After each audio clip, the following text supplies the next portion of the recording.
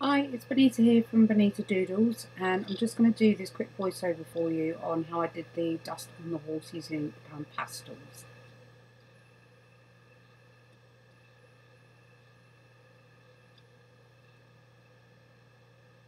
The two colours I used from the Pan Pastels, which was from the Portraits set, was Burnt Sienna Shade, that did all the dark areas, and titanium white is what I did the highlights with. I am just using the um, oval sponge that was supplied with the kit that I purchased. You can buy makeup sponges. I haven't tried sort of a similar version from the shops yet, but as I say, this comes from the kit, so I just used it. Um, I'm just patching in dark areas now, making sure that they're all blended in well because I didn't want lots of dust getting everywhere. Um, and I wasn't too worried about having the hard edges either. In fact, the hard edges help towards the contrast between the highlight and the shadows on the dust. So, um, as I say, all I did was make sure that there was no loose pastel anywhere, as I didn't want it to ruin the picture, I didn't want it to go everywhere. Um, and you almost want to use the shape of the sponge to your advantage, and where it naturally curves across the edge, that's how we built up the, the highlights and the shadows. Um, I used a different colour there by the looks of it, but um, I can't remember it off the top of my head, so apologies about that. Um, it would have been in the umber shades anyway, so it depends on the colour of dust that you want, will depend on the colours that you need to put down. All you need is um, a dark, a medium, and a light, and the light is what will give you the natural sort of highlights of where the uh, light hits the dust. Um, I'm just finishing off the legs here as we go through, so I'll speed this up a bit for you so we can get back to the pan pastel part.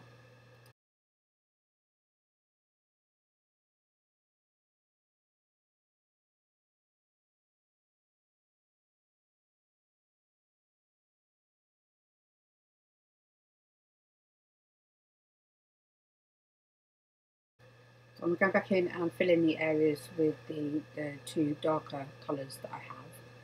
Um, and as I say, you need some real dark patches in there as well as some real highlighted areas. So don't worry about smoothing everything over and making sure that it is um, completely covered because you'll lose the effect that you want to get.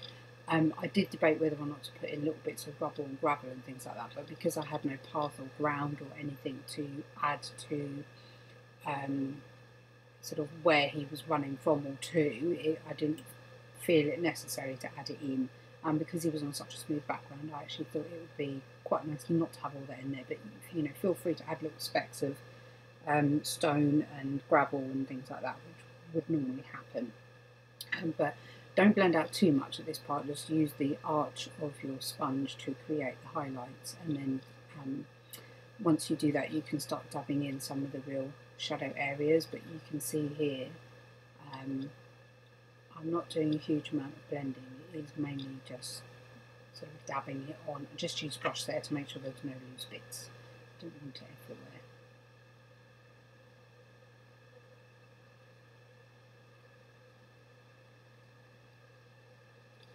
It doesn't matter how many times you build this up, that's entirely up to you.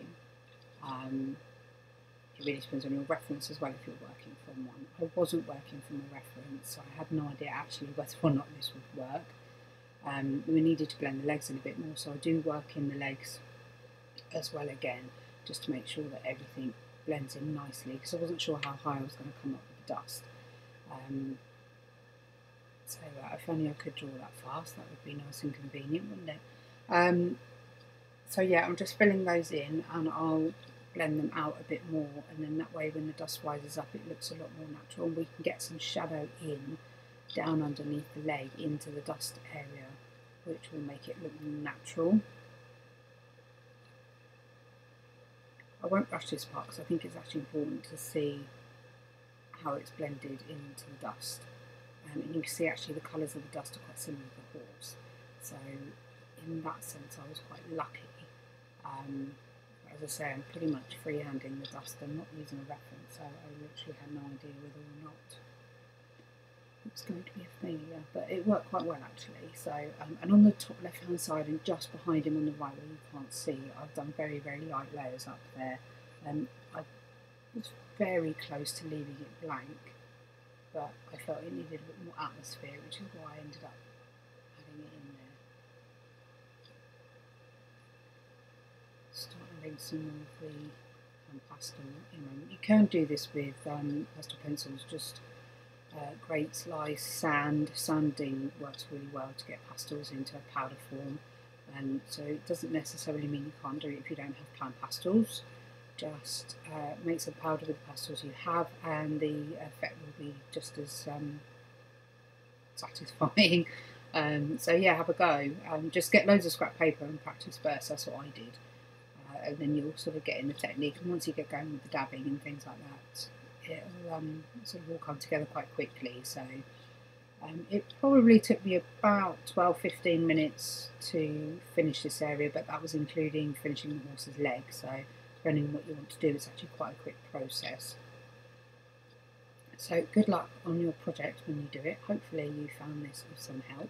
If you've got any questions, pop them down below. Uh, feel free to subscribe to the channel as I still am uploading sort of little hints and tips like this as we go along. Um, thank you very much for watching.